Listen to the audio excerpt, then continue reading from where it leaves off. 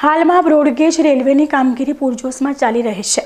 ત્યારે વાત કરવામાં આવે અમીરગઢ રેલવે સ્ટેશનની મોટાભાગની રેલવે ટ્રેકની કામગીરી પૂર્ણ થઈ ગઈ છે અને રેલવે સ્ટેશનો પર ફૂટબ્રિજની કામગીરી ચાલી રહી છે. ત્યારે રેલવે દ્વારા રેલવે ટ્રેકના ઉપરના ભાગેથી ઓવરબ્રિજ બનાવી લોકોને પાટા અળંગવા ના પડે તે માટે સુવિધારૂપ લોકોના અવર જવર માટે ઓવરબ્રિજ બનાવવામાં આવ્યો છે. પરંતુ આ ઓવરબ્રિજને બંને ભાગમાં વહેંચી દેવાતા લોકોને ઉગમણાવાસથી આથમણાવાસ જવા માટે બ્રિજના ઉપર ચડી નીચે ઉતર્યા બાદ ફરીથી બ્રિજ ઉપર ચડીને આથમણાવાસમાં જવું પડે તેમ છે. તેથી ઉગમણાવાસ અને આથમણાવાસ એક સરખા ભાગમાં હોવાથી ઉગમણાવાસના લોકોને આરોગ્યલક્ષી તેમજ સરકારી કચેરીઓમાં દિવસ દરમિયાન અવારનવાર જવાની ફરજ પડે છે. સાથે સાથે હિન્દુ અને મુસ્લિમ ધર્મના ડુંગરપુરી મહારાજનું મંદિર તેમજ મુસ્લિમ ભાઈઓની મસ્જિદ પણ આથમણાવાસમાં જવા માટે મુશ્કેલીઓ વેઠવી પડે તેમ છે. તેથી રેલવે સરકાર દ્વારા બ્રિજને ઉપરના ભાગને જોડી દેવામાં આવે તો ઉગમણાવાસ અને આથમણાવાસના લોકોને કાયમી માટે જવા આવવા માટેનું કાયમી સમસ્યાનું સમાધાન થઈ શકે તેમ છે. આજે અમીરગઢના લોકો રેલવે સ્ટેશન પર પહોંચીને મીડિયાના માધ્યમથી તંત્ર સમક્ષ આ બ્રિજને જોડવા માટે આજીજી કરી હતી. અત્રે ઉલ્લેખનીય છે કે રેલવે મંત્ર દ્વારા રેલવેને બે ભાગમાં વહેંચી દેવામાં આવ્યો છે. એક બાજુ મુસાફર ટ્રેન, તો બીજી બાજુ ગુડ્સ ટ્રેન સ્ટેશનનું પ્લેટફોર્મ ઊભું કરવામાં આવ્યું છે. ત્યારે બંને ઓવરબ્રિજને છૂટા પાડી દેવામાં આવ્યા છે, જેને લઈને ઉગમણાવાસ તેમજ આથમણાવાસમાં જવા માટે ત્રણસો જેટલી સીડીઓ ચડીને ઉતરવી પડે છે, જેને લઈને રાહદારીઓ માટે આ ઓવરબ્રિજ માથાના દુખાવા સમાન બન્યો છે. હવે તો લોકોની એક જ માંગ છે કે રેલવે તંત્રની કામગીરી હજુ પૂર્ણ થઈ નથી જ્યારે બ્રિજનું કામ પણ અધૂરું છે, તેવામાં રેલવે તંત્ર દ્વારા હમીરગઢવાસીઓની આ માંગને ધ્યાને લઈ આ છૂટા પડેલા બંને બ્રિજને ઉપરના ભાગેથી જોડી દેવામાં આવે તો લોકો માટે કાયમી સમસ્યાનું હલ થઈ શકે તેમ છે. અમીરગઢ ગ્રામ પંચાયત દ્વારા બનાસકાંઠા જિલ્લાના સાંસદ સભ્ય પરબતભાઈ પટેલને લેખિતમાં રજૂઆત કરવામાં આવી છે. તંત્ર દ્વારા આ ફૂટબ્રિજને બંને બ્રિજ એકસાથે જોડી દેવામાં આવે તેવી લોકોની માંગ ઉઠવા પામી છે. आज हम लोग यहाँ पे अमीरगढ़ में इसलिए इकट्ठा हुए हैं, तमाम हिंदू, मुस्लिम भाई, कि यहाँ पे हमारे यहाँ जो ब्रिज बना है, दोनों ब्रिज, रेलवे ब्रिज दोनों दो भाग में बना है। उधर से चढ़ेंगे, नीचे उतरेंगे, बीच में फिर दोबारा चढ़ना तो इससे बुज़ुर्ग इंसान को बहुत परेशानी होगी। इसलिए मुझे केंद्र सरकार या रेलवे जो भी डिपार्टमेंट है, उनसे हमारी गुजारिश है, गाँव वालों की पुरजोर कि वो जो है ब्रिज को ज्वाइन कर देते तो बहुत मेहरबानी होती और हमारे गाँव के लिए अच्छा होता। और साथ ही साथ रेलवे के पास में गाँव की सबसे बड़ी मंदिर भी है और मस्जिद भी। उधर से लोग यहाँ पे दर्शन और नमाज़ पढ़ने के लिए आते हैं, जिससे लोगों को बहुत तकलीफ़ पड़ती है।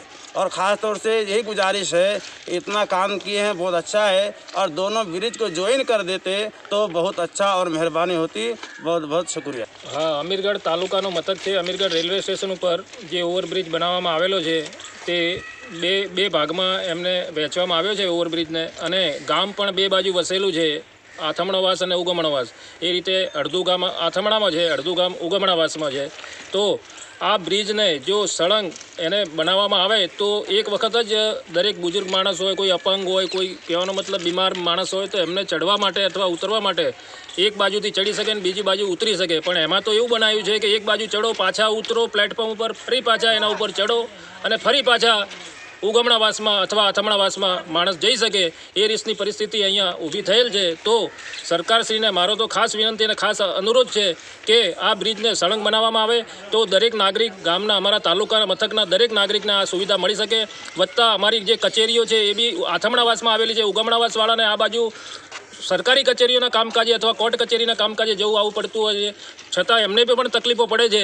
તો એમને પણ તકલીફનું આ નિરાકરણ આવી શકે અને જે દવાખાનાઓનું કામ હોય બીજું કામ હોય બધા સરકારી હોસ્પિટલો બીજા બધા અમારા અથમણાવાસમાં આવેલા છે અને ઉગમણાવાસમાંથી આવવા જવા માટે આ લોકોને મુખ્ય મથકે આવવા માટે બહુ તકલીફો પડે છે. તો આ લોકો અહીં અમારે અવર માટે પણ આ માર્ગ જો બ્રિજને જોઈન્ટ કરવામાં આવે તો સળંગ આ બ્રિજ બની શકે અને હાલમાં અમારે ત્રણસો સીડી ચડવા ઉતરવાની થાય છે.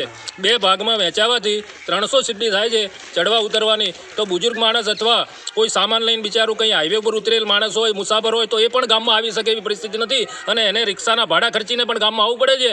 અને એમને આર્થિક રીતે પણ નુકસાન થવાની શક્યતાઓ વધારે છે. તો આ બ્રિજને મારી તો નમ્ર અનુરોધ છે કે આ બ્રિજને જોઈન્ટ કરવામાં આવે અને દરેક નાગરિકના સુવિધા આપવામાં આવે અને સરકારશ્રી અમારી આ વાત ધ્યાને ધરે એવું અમે બધા નાગરિકો, ગ્રામજનો તથા તાલુકા મથકના દરેક ગ્રામજનો અમે ઈચ્છીએ છીએ. રેલવે તંત્ર દ્વારા અમીરગઢ રેલવે સ્ટેશન ઉપર ગુડ્સ ટ્રેનો માટે એફઓબી બનવા દીધેલ છે એલ કંપનીએ.